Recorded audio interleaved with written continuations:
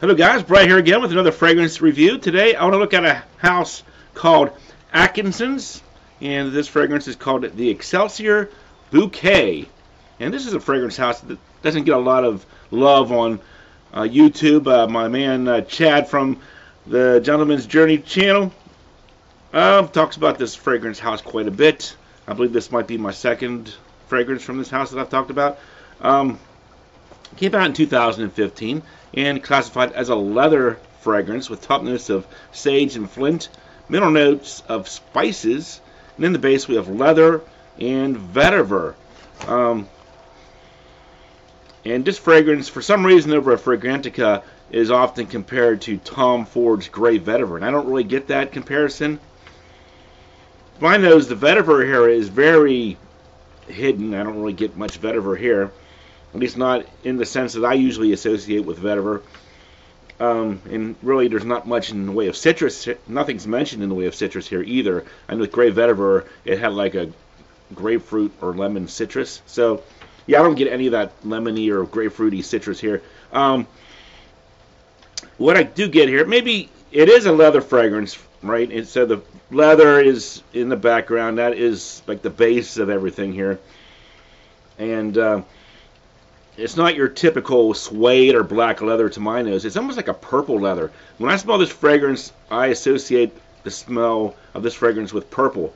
And uh, when I usually think of fragrances that smell purple, the first thing that comes to my mind is Ralph Lauren's purple label. So I do get some similarities between this one and Ralph Lauren's purple label or Bleecker Street from Bond Number 9, which is similar to that as well. Um, of course, this one, it didn't have that uh, tobacco flower note in it like uh, Purple Label. So, but I do believe Purple Label had sage in it. So it's kind of in that vein, sort of a very upscale, purpley smelling fragrance. I'm not sure why it has a purple smell to it. It very well could have that same uh, blackberry accord that uh, Purple Label has. It has like almost like a purple or deep purplish hue to it in a fruity way, but not overly fruity. So we'll say maybe like a blackberry leather type thing.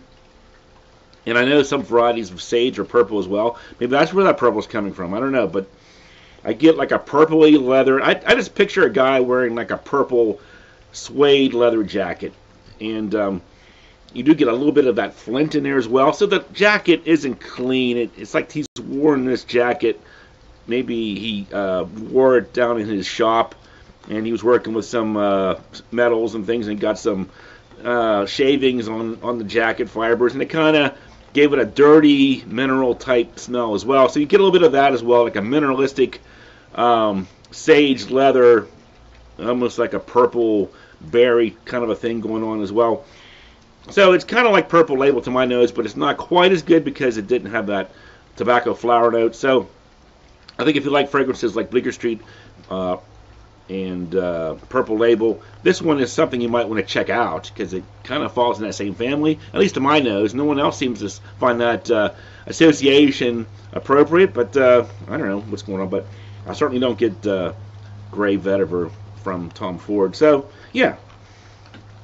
It's an interesting fragrance. I picture a guy, maybe 40 and up, beard, jacket, maybe he has a pipe. You know, that's kind of the guy uh, that you're going to get here. Very elegant, refined, and I do believe Atkinson's is known for uh, concocting fragrances for the royal family. I mean, I think that was your original uh, purpose. So you, you do get a very upscale, royal kind of a smell.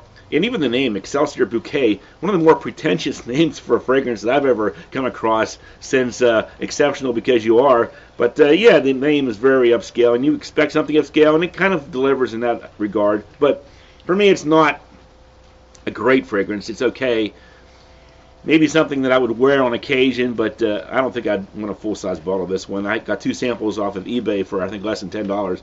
So I think you know if you want to try something different uh, with like a purplish leather, flinty sage kind of a smell to it, check this one out and see what you think. For me though, my final scores smell I'll give a six out of ten. It's not a bad smell. It's just uh, it, like I said, once you smell purple label, it's hard to uh, raise the bar on that fragrance in, in, terms of a purple smell. That's an upscale fragrance. And this one doesn't quite reach that bar. It, it comes up your close trying to reach, but it doesn't quite get there, in my opinion. Projection longevity, about three to five hours. Again, it's not a real strong fragrance. The notes seem to imply that it's going to have a lot of power to it with the vetiver and the leather and the sage, but really it's, it's just sort of a close to the skin type fragrance, and no one really complimented or said anything when I wore this fragrance to work. So six and a half out of ten for projection longevity. Versatility, I'll say five out of ten. For the right person, this could be a signature scent. You could wear it in the evenings or as a signature day wear fragrance. For me, it would probably be more of a change up fragrance. When something a little bit different, uh, change things up. But uh, yeah, I don't see myself wearing this one too often. Uniqueness, 8 out of 10. I think it does a great job. I think that flint the, mixed with the leather and the sage really gives it a unique spin from other fragrances out there. So yeah, uniqueness is pretty good, 8 out of 10. Price point, I've seen this as low as about $68 for the 3.3 ounce. So yeah, you know, less than $70, you get a pretty upscale uh, quality fragrance. For me, the overall 6 out of 10. It didn't quite do it for me. Uh, fun one to check out, but I don't think I'll be buying a full size bottle of this one. But check it out if you're into like that purpley smelling leather, sage, flinty type stuff. Um, yeah, Atkinson's the Excelsior Bouquet. Thanks for watching. I will talk to you guys later.